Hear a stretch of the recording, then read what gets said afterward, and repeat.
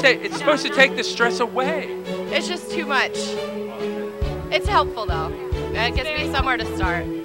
It's just a lot of info. Did you just start now? I mean, this was your first. Yeah, this is my first time looking for anything. My name's Laura.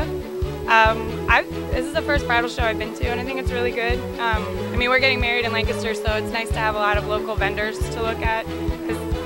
Nice to meet the people because you just look at a website and you don't really know who the people are or you know what they really are trying to do. So it's nice to actually talk to people. And I think there's a good variety of photographers and DJs and things like that here. bring um, return address stickers to, to uh, so you don't have to fill out every every table will have some kind of giveaway. So it's a good idea to put this sticker on there instead of having to fill it all out. We didn't do that, but it's a great idea.